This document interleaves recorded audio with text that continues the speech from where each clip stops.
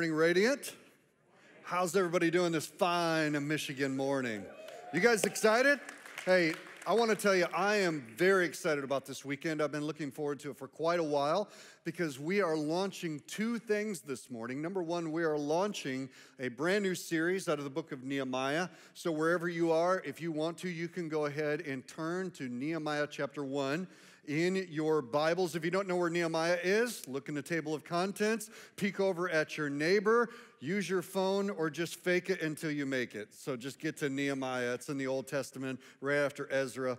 And uh, we're going to start there this morning in the book of Nehemiah. And for the next several weeks, we are going to be working our way through the book of Nehemiah in a series that is also the same title for a strategic vision alignment that we are entering today as a church family called Building a Radiant City. And I'm excited about this, not just because we're teaching uh, something that I'm very passionate about, but I'm excited because I'm excited about what God is doing here at Radiant Church. I'm excited what He has done. I'm excited what He's doing here every single week, and I'm excited what God has in His heart for our future. And so when I, I use a phrase like strategic vision alignment, you could call it a, uh, a vision campaign, whatever it is, we are going to be talking about what God is speaking to us for our future. We've got some great plans that we believe that God is calling us to rise up and to build and to expand, to broaden our reach and to influence and reach more people than we've ever reached before.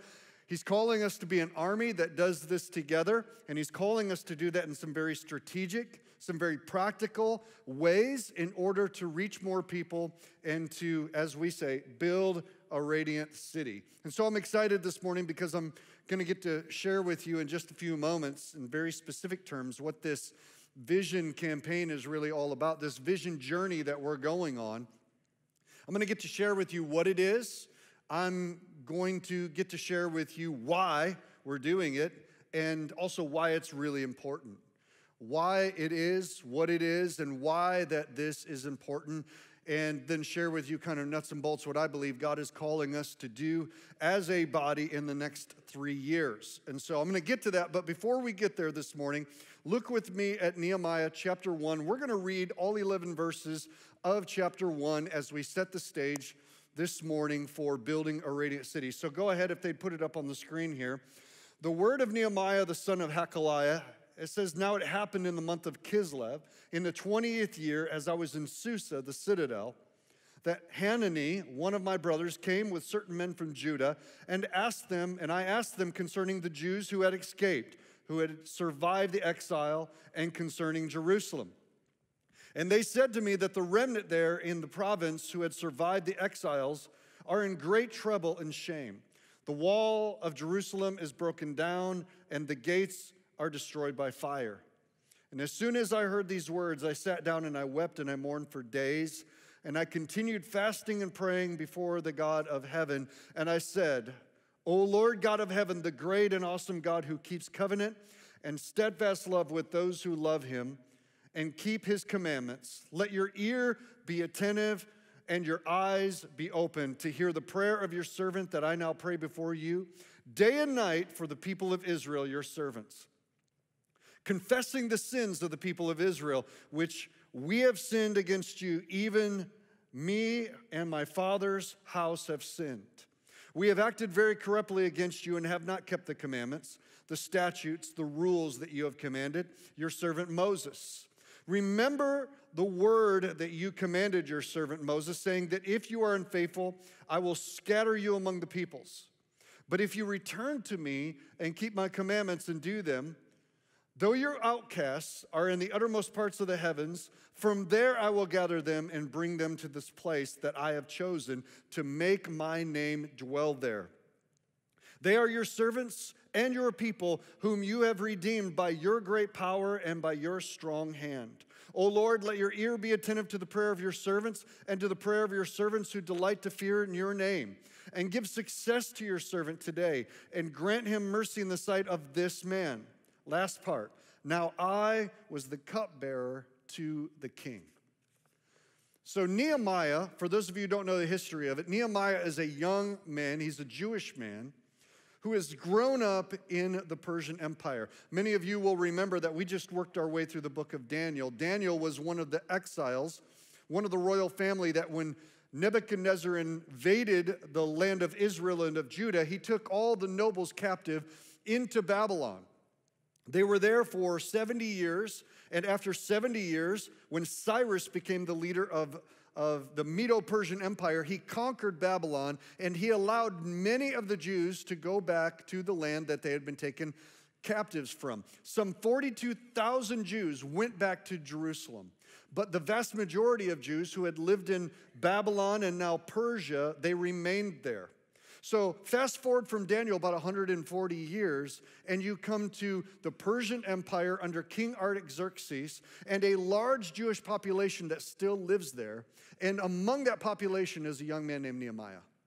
Nehemiah is a young man who has kept his faith. He's still Jewish. He knows the Torah. He worships one true and living God of Abraham, Isaac, and Jacob. But he has the distinctive now of working in the king's courts. It describes him in the very last part of that verse number 11 that he was the king's cupbearer. Now, you might not think that that means much. It's just, you know, a guy who, what does he do? You know, he hands the cup to the king whenever the king's thirsty. But it's so much more than that. You see, to be a cupbearer of the king meant that you were a highly trusted advisor. Because one of the ways in ancient times that you came to power was by killing whoever was king. And the way that you would kill them, you wouldn't use an army because their army was too powerful. There were no elections, so, so you couldn't do that. You couldn't invite Russian hackers in or whatever, you know, you were thinking that you would use as a way for a coup. No, the way that you did it is you poisoned the king. And the way that you poisoned him was getting access to his food and to his drink, to his wine. And so, what a king would do very wisely was he would appoint somebody that was very trusted, loyal to him, had high levels of integrity, and you would make him your wine tester, your food tester. You called it a cupbearer. So, what that looked like is when they brought your food in and set it down on your TV tray, you took your cup and you handed it to Nehemiah. You said, Go ahead and drink. And then you waited for about a minute. How you feeling, Nehemiah? Feeling pretty good? All right, give me the cup back. And then you drank it. You knew that if he didn't die, you didn't die.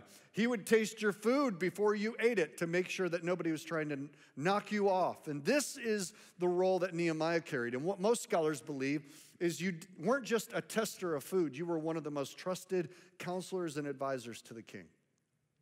This is who Nehemiah was. He's living in Persia. He's really, for all intents and purposes, culturally Persian, even though in his heart, religiously and spiritually, he's Jewish. He's never, ever been to Jerusalem. He's lived in Persia his whole life. But on this particular day that he describes in verse number one, as it happened in the month of Chislev in the 20th year of the king, leaders and messengers, envoys from Jerusalem, one of which was his brother, Hanani, who came into the king's courts to give a report of what is going on back in the land that God had promised to his people, back in the city that was called the city of the great king, back where they're trying to rebuild the temple that had been destroyed by Nebuchadnezzar. They're also trying to rebuild the walls to create security around the city, but they keep failing. And now he gets the report as he's sitting there. It's just an average day. Nehemiah is getting the report from these Jewish leaders. And as he's listening to it, the very last thing that they said to Nehemiah is it said that the walls of Jerusalem are broken down. And his heart became sickened spiritually. Because as he allowed himself to hear about the condition of Jerusalem about a city that he's never been to, but a city that his heart is connected to because of God's promises. As he hears about the walls being broken down, he allows the walls of his own heart to be broken down. As he hears about the conditions of broken walls, Nehemiah becomes a man with a broken heart. And it leads him to much of the rest of the chapter, which becomes a prayer of intercession. A prayer where he says, I spent time before the Lord weeping, praying, and fasting, reminding God of his promises over the city, reminding God that he had said that if we would repent, he would restore us, reminding God that what was happening in Jerusalem was not the final word. God had spoken the final word. Jerusalem will be rebuilt, the temple will be restored. When the temple is restored, God's glory will fill the temple again. The promises of God will be fulfilled, the Messiah will come, and all of the things that God has promised in His word are contingent upon the restoration and the rebuilding of the city. And as He's heard, the people are discouraged, the people are frustrated, the people are downtrodden, they've given up hope because they keep trying to rebuild the walls, but their enemy comes in and stops them, intimidates them. They've not been able to do what they had attempted to do. And what's interesting, we'll read the rest of the book. We'll go through it over the next month, but let me just kind of give you a sneak peek of where we're going. Nehemiah allows his heart to be moved. He asks for favor of the king. He goes back to Judea and he rallies the people of God in a way that they had never been able to be rallied before to do the impossible. They rebuild the walls of Jerusalem in 52 days. It's a miracle. 52 days they were able to do what in 140 years they were unable to do. What was the difference? How were they able to rebuild the walls, creating security in the city? How were they able to restore their families, restore their fortunes? How were they able to complete and refurbish the temple that God's presence would dwell in so that men and priests like Ezra were able to proclaim the word of God and call people back to faith again? How were they able to do it? Well, they were able to do it because God sent a comforter. It's interesting that the name Nehemiah actually means that the Lord comforts, or it means the comforter of the Lord. Nehemiah is a picture of believers who are filled with the Holy Spirit who get a vision from God about seeing God reverse what darkness has done in a city and bring comfort, bring hope, and restoration to a place that has become desolate. God raised up a leader like Nehemiah who would go back and who would risk everything, who would give up comfort, who would give up position, who would give up status in order to put himself in a place where he could become a restorer and a rebuilder. Literally, we need to recognize this that Nehemiah was changed by what he heard. And because Nehemiah was changed by what he heard, the city was changed by what Nehemiah did with what he was hearing. When Nehemiah heard what was going on in Jerusalem, it moved him. How many know that we hear all kinds of stuff? I mean, we are living in a communication era where we are inundated with information, sight and sound over and over and over and over and over and over again. From the moment you wake up to the moment you go to bed, all you spend your time doing is taking in information. And you know what that does? It creates a certain degree of callousness in our hearts because you can't possibly deal with everything that you hear. Think about what your life would be like if you gave all of your time and all of your attention to every problem you became aware of every single day, of every crisis that you came across on Facebook, of every prayer challenge, of every political initiative, of everything. You, there's not enough time in the world. So, what do we do in response to that? We create walls. We build walls, we build filters, because if it's not affecting me, then it can't be important. And so we learn how to build walls. Here's what I think is so powerful about Nehemiah Nehemiah heard about a city that he had never seen, but he knew that there was great promise related to it, and he allowed it to change him. He allowed himself to be moved. And based on how he was moved, Nehemiah became changed and also became a change agent. He became a catalytic leader that God used who said, I'm willing to step outside of my comfort zone. You know, we all love comfort. Today, when you go home, most of you are going to find the most comfortable chair in your house.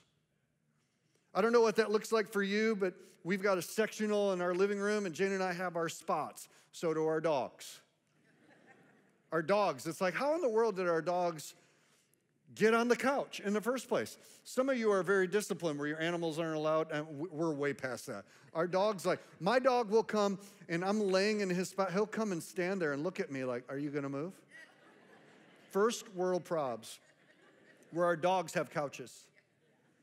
Most of us are not gonna go home and go, Okay, Let me find the most uncomfortable chair that I can find. Oh, one of those wooden dinner table chairs, you know, that you sit in. Your back is perfectly straight. Nobody's going to sit there. We naturally are magnetically drawn to comfort. Do you know that that's true spiritually as well? We're drawn to comfort. But let me tell you something this morning that I know is positively, absolutely true that comfort is never the environment of change. If change is ever going to happen, we have to be willing to give up comfort in order to become agents of change. If you're ever going to get in shape, you can't get comfortable. No world changer, no history maker has ever been described as a person that loved comfort, including Nehemiah.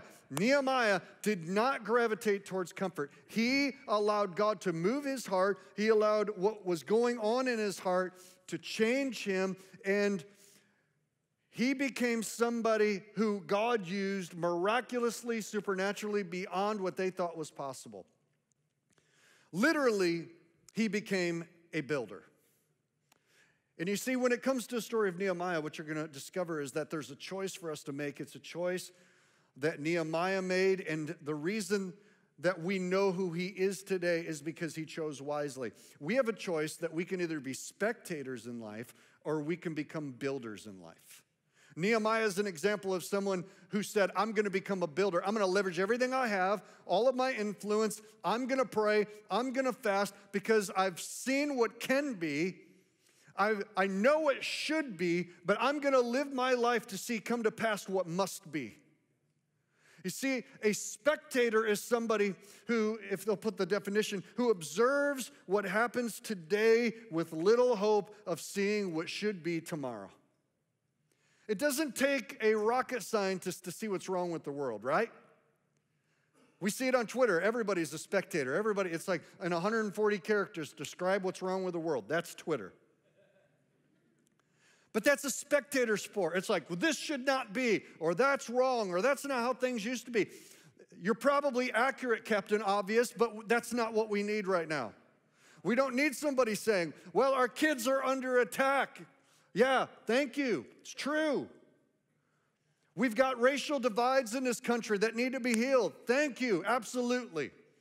More and more people are describing themselves as no longer a part of the Christian faith. Well, that's a reality. Or maybe it's just a polarization to where real disciples are being defined by real faith, and those who have just jumped on the cultural train and it was popular to be a Christian are now being polarized away from that. Whatever it is, we're describing that. But there's a difference between being a spectator, which means I see what I see what is, but I don't have a whole lot of hope for tomorrow. There's a whole lot of difference between a spectator and a builder. Because here's what a builder does. A builder leverages what they have today so that they can see what must be tomorrow. And that's what Nehemiah did.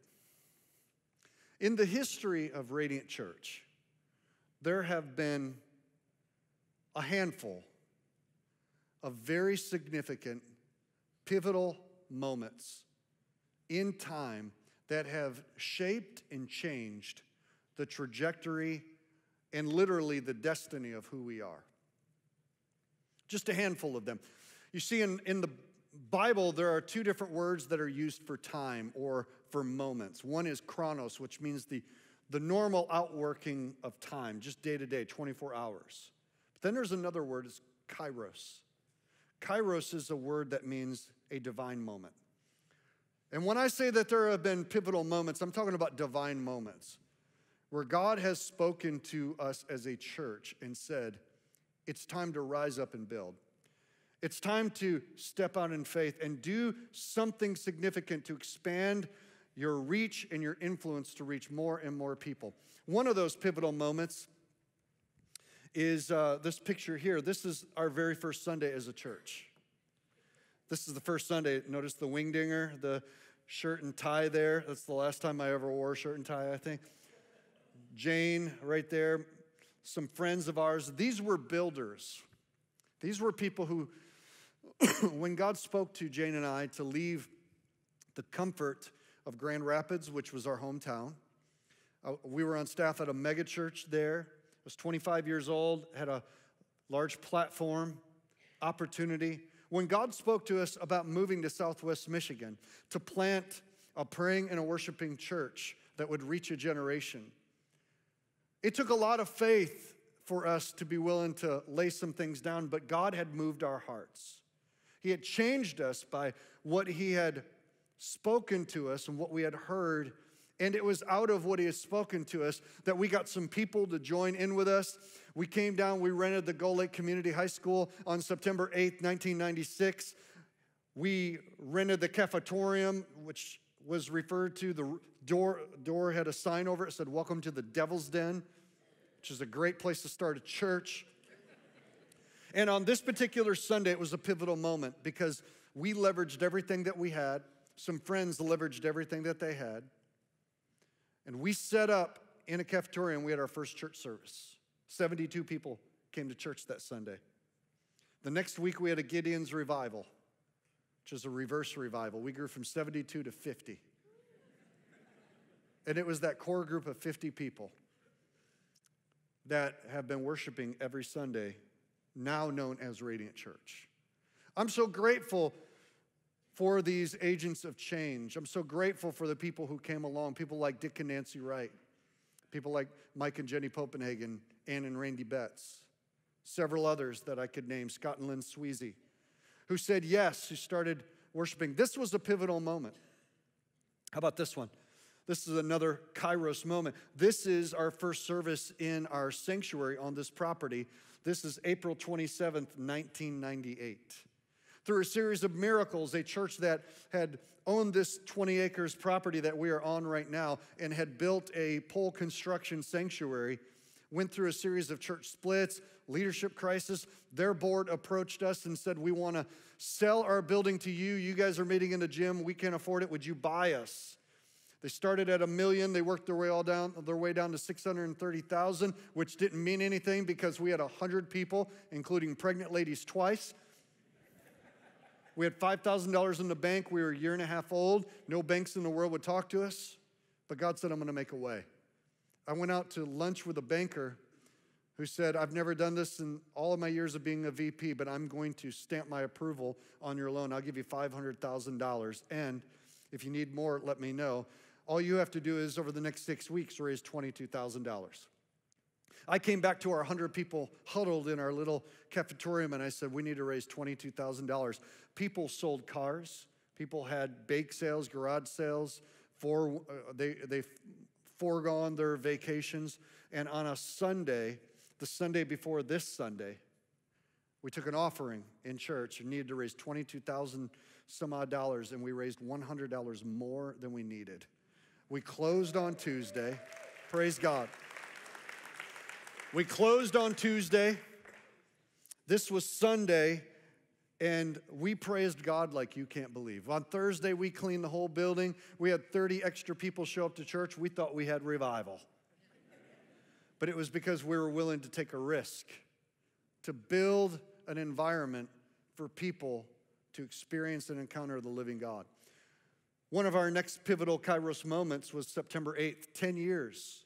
Our 10 year anniversary was our first service in this Richland sanctuary. You see, in 2005, we recognized that we were running out of room. In the old, what's now the Student Ministry Center, we were running three, sometimes four services in there, about 800 people. We just didn't have any room anymore. And we were trying to figure out what we were going to do. And so we heard God say, It's time to build a bigger sanctuary. Almost did not build it because of the economy. The Lord gave us a word, said, The harvest is coming, prepare the storehouse. So we built it. A year later, it would have cost us 40% more because the price of steel went up. But we responded to what God said to do, and we built this sanctuary. We invited our entire church onto a spiritual journey called chapter two. We said, Church, it's time for us to rise up and build. It's time for us, above and beyond our regular tithes and giving, to sacrificially give to this vision, this alignment, so that other people who are not now a part of Radiant Church, who are not now a part of the kingdom of God, who right now are far away from Christ, will have a seat when they come to church to experience the presence of God. And you know what we did? We rose up in 36 months. We made a commitment to raise, I think it was $1.5 million. and we built this current sanctuary. And this is the first Sunday, September 8th, 2006. We moved into this sanctuary and had 1,300 people that joined us on that Sunday. Now, I want to do something right now, wherever you're at. If you started coming to church after 2006 at Radiant Church, I want you to raise your hand. I want you to look all over the room. I want you to put your hands down for a moment. If the people who built this sanctuary had not responded in faith to the command, the call of God to build, there would not have been a seat for you. They would have been comfortable, they had chairs. There would not have been a place for you. Since we moved into this sanctuary, 8,000 people have received Christ in this room.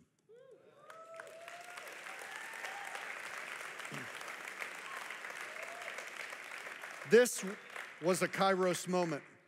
Let me share with you one more Kairos moment. Portage.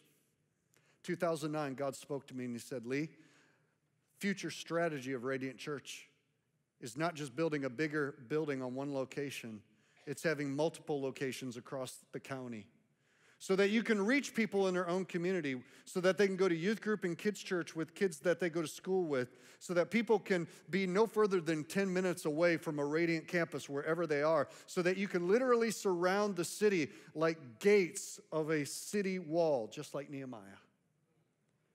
And you can build a structure and a framework, and not just one location, but in multiple locations. And in 2009, we knew that that was our strategy. God had spoken to us about our first campus. He said, I want you to go to the west side, I want you to go to Portage. We tried in 2009. We went to Moorsbridge Elementary. We did it for six months. It grew a little bit, but we realized we weren't ready. So we backed off, consolidated everybody back. And we said, we're still going to go to the other side. In September 2017, I was casting vision in September about what God was calling us to do, and I almost did not say anything about the West Side campus because, to be honest, I've said it so many times, I didn't have anything new to report. I felt like people were just going to think, oh, yeah, whatever, that's never going to happen. But God said, write the vision, make it plain. So I, I did it anyways, and unbeknownst to me, on the other side of town, there was a church in crisis. Its elders were watching our service and heard me say, God's going to take us to the other side. He's going to open up a building, He's going to make a way. Well, they reached out to us and said, We heard your message, and here's the situation. We have a building, but no leader. You have leaders, but no building. Will you adopt us? And we said, Yes, we'll bring you in. And through a series of miracles, Portage came in. We did a, a $2 million renovation of that building. We had people in our city, people outside of our city who said, hey, you know, video campus is not going to work in Kalamazoo. In Kalamazoo, Michigan, it just doesn't work. You guys are, you're wasting all your money. You're taking too big of a step. And I said, well, God has spoken to us. On Easter Sunday, 2017, we moved into it, and we had 2,300 people show up at our Portage campus.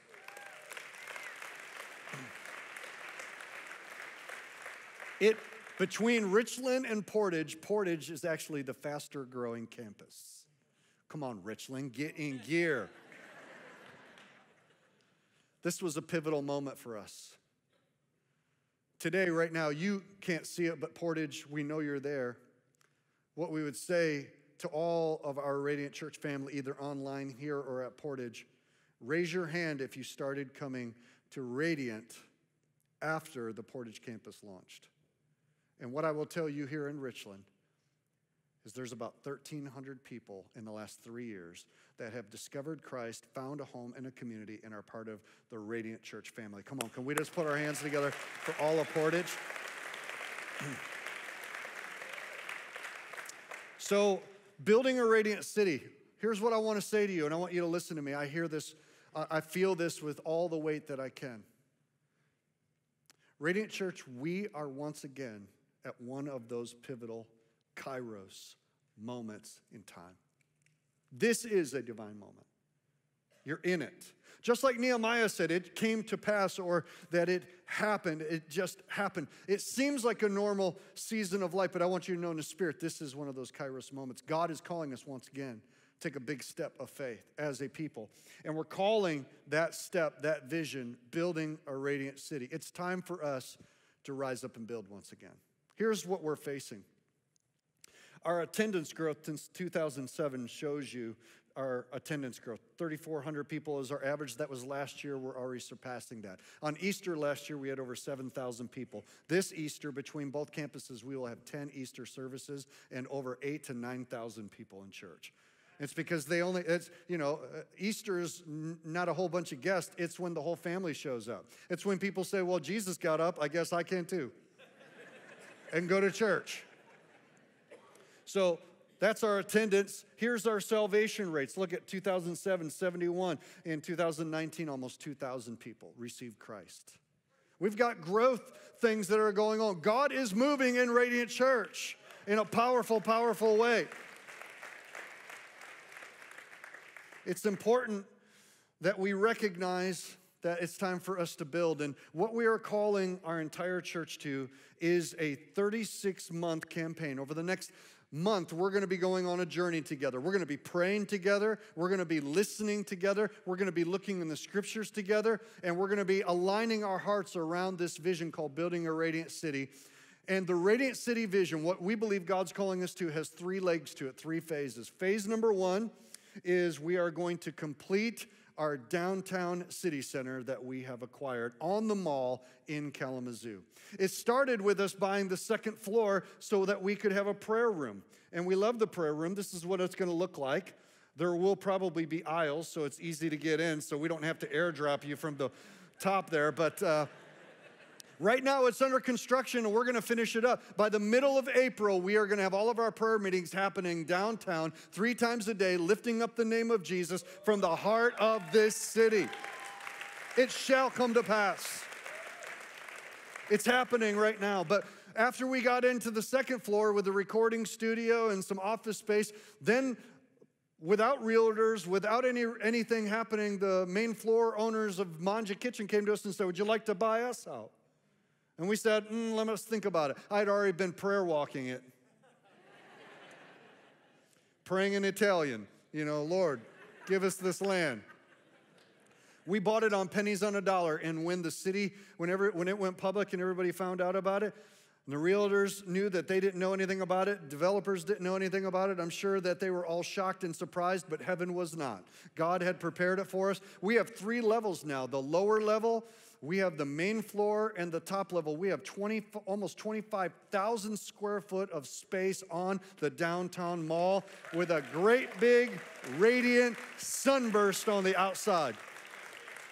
We believe it's strategic from the heart of the city, a mission base, a city center that lifts up the name of Jesus. And here's what it's going to do for us.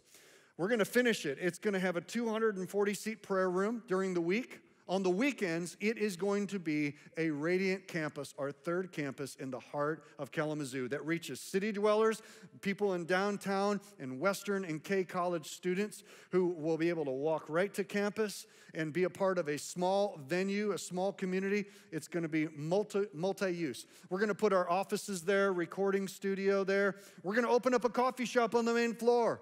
Somebody said, well, I don't get the connection with a coffee shop. Well, number one, Jesus loves coffee. So do I.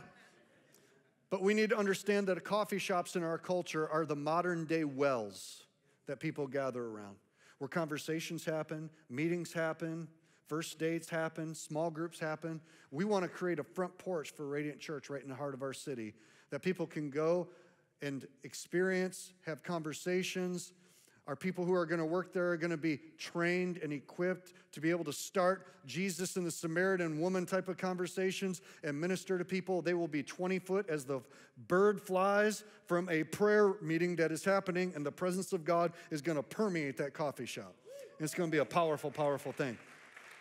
We're, gonna, we're also going to be putting our RSW and RSM students down there. RSW is Radiant School of Worship. RSM is what we are launching this fall in September. We are proud to announce we are starting Radiant School of Ministry for people that feel called, young people from all over this generation and the nation and the nations who feel called to prepare to be trailblazers, revivalists, church planners, missionaries, and marketplace ministers. Here's what I want to say to all of you that are watching me You might think of yourself like Nehemiah I've got a job, I'm just a cupbearer. But God wants to use you as an agent of change.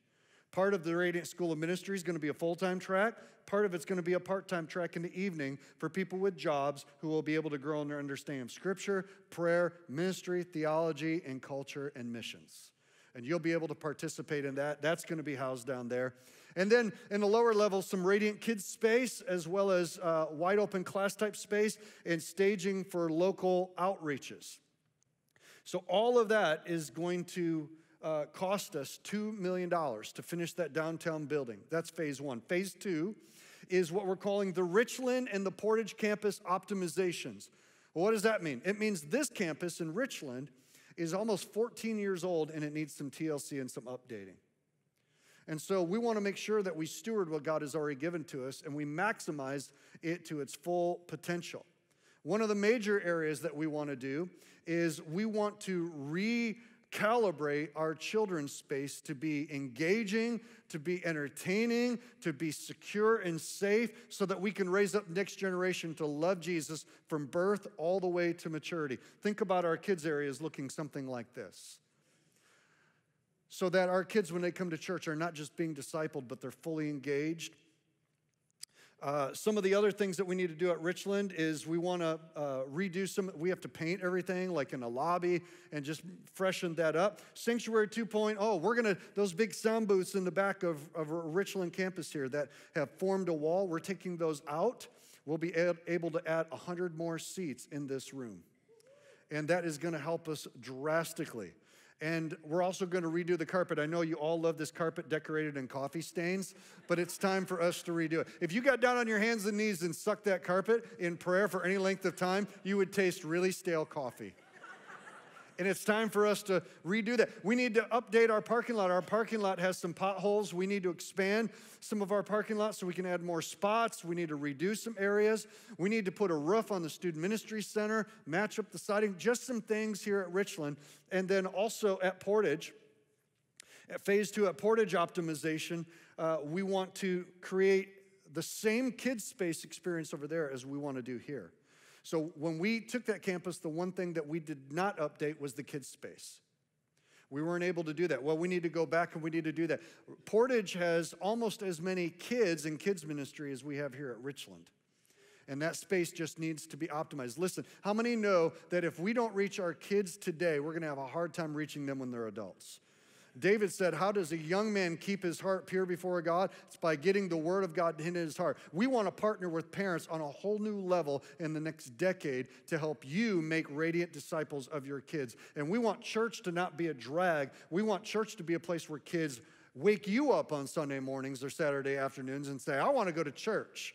So we want that place to be engaging. And then on the exterior of Portage, we want to build a community engagement piece. Here's what that is we want to put a big playground out there for kids when they come to church and for the neighbors in the community that when they think of Radiant Church, they don't think of it as a traffic problem. They think of it as a park that they can go to and their kids can play and be engaged.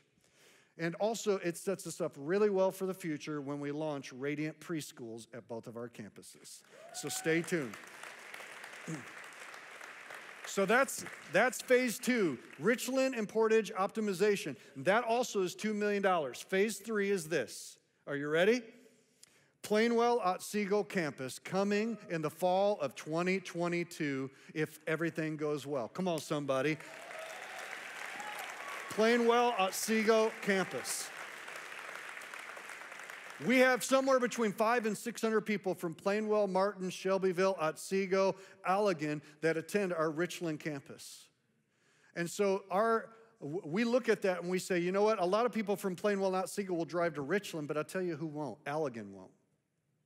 Dorr and Hopkins won't. South of Grand Rapids won't necessarily, even though we have people from GR. By strategically going to Plainwell and Otsego, uh, we are going to be able to draw Allegan, Goble, smaller communities, Martin, Shelbyville, as well as Dorr, Hopkins, Wayland, and even 84th Street uh, 76th Street off of 131, which is only a 20 minute shot. And we are able to move about 500 people over to that campus if all goes well. And that actually opens up seats here at our Richland campus. And so in the future, what that gives us the ability to do with all three of these, with, with Richland, with Portage, with a microsite downtown, and with Otsego Plainwell, it enables us over the next several years to reach, on an average weekend, 10,000 people worshiping together under one Lord and under one vision and under one banner, building a radiant city. this, this is maybe what it will look like. Uh, who knows? It might. That's the artist's rendition.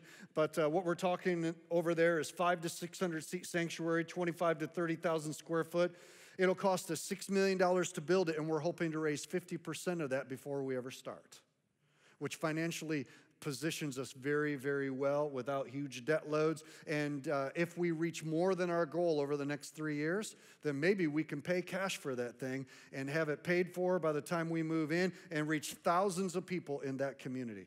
All three of these phases together are going to cost us $7 million over 36 months. That is what this vision journey that we're going on is all about. It's about, okay, Lord, I want to build a radiant city. This is a kairos moment. You're calling us to something very significant. And we're asking everybody over the next several weeks to do three things. Number one, we're asking you to join the prayer journey, which means pray with us, just like Nehemiah did, pray. Second thing that we're asking everybody to do is listen for God's voice about what He would speak to you and your family about the part you will play in sacrificial giving to make this happen.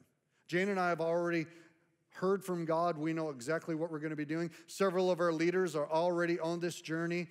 Uh, we've cast this vision to those who are leaders at both of our campuses, and there is such momentum, such prayer that's going on. We want you to join this prayer journey and begin now to be asking God, God, what are you, what are you calling me to do? I don't want us to be a church of spectators. I want us to be a church of builders.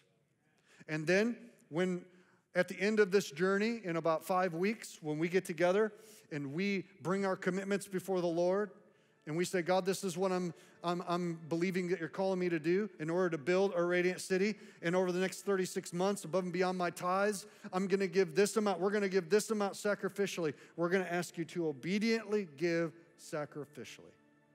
Your sacrifice will look different than somebody else's. For some people, $1,000 is very sacrificial.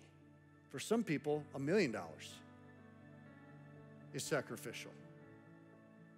We're not asking for equal giving, we're asking for equal sacrifice. And I will never tell you what to give. That's not my job, it's His job. Here's what I'm going to ask you to do. I want everybody to stand up with me if you would, both campuses. I'm going to ask you to right now not just say, okay, I think I can give this. Don't lean on your own understanding in all your ways, acknowledge Him. He will direct your paths. I'm going to ask you to go on a journey. Nehemiah went on a journey to Jerusalem, to a city he'd never been in. He inspected it, he heard from God, he got a vision, and then he presented it to the people of God that had been discouraged, that had been exiles, and he said, This is what God's calling us to do. And in Nehemiah chapter 2, verse 19, the people responded, The favor of the Lord is on us. Let us rise up and let us build. Over the next few weeks, we're going to be digging deeper into the why of this. Today is informational.